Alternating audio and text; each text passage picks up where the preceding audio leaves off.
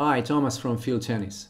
First of all, big thanks to Jason Frausto from Tennis Unleashed for allowing me to use his video for this analysis. Jason and I will be releasing a series of videos where players have had their racket digitally removed from the video, so I encourage you to subscribe to our channels if this is something you find interesting and useful for your understanding of tennis technique. In this video we'll be looking at Roger Federer's serve from two different angles. What you've seen so far is Roger's serve with the racket, but now observe his serve with the racket removed.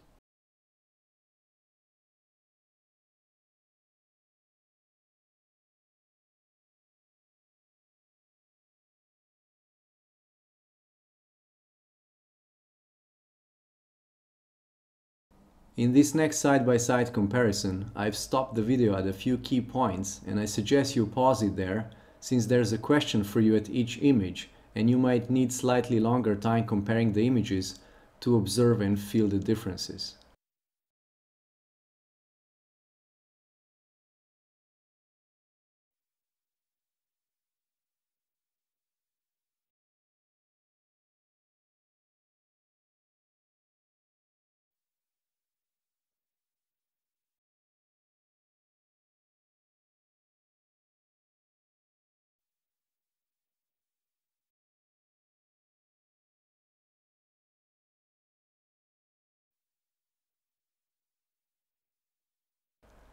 This next side-by-side -side comparison looks at the differences in racket and hand path, which you also see in one clip together after this one.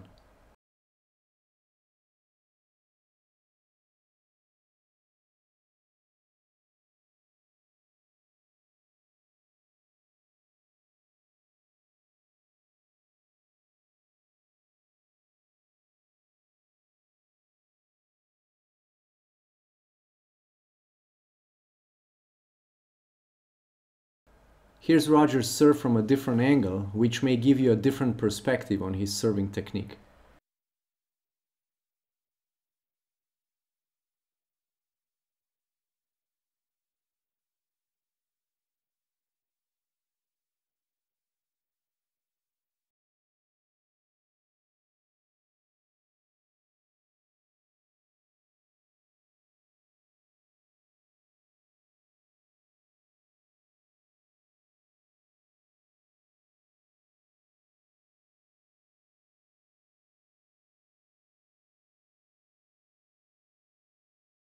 I've again stopped the video at key positions in the serve in this side-by-side -side comparison, so feel free to pause the video again and check the question in each still image.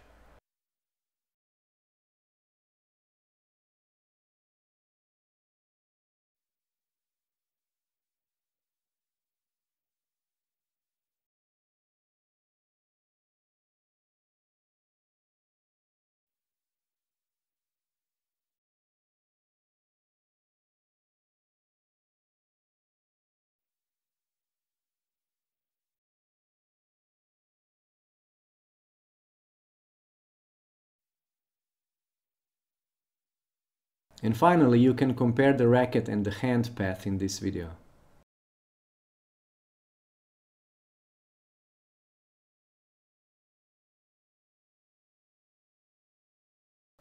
As mentioned before, Jason and I will be releasing more videos of players with digitally removed rackets, so please subscribe to both channels to be notified immediately when the next video is released.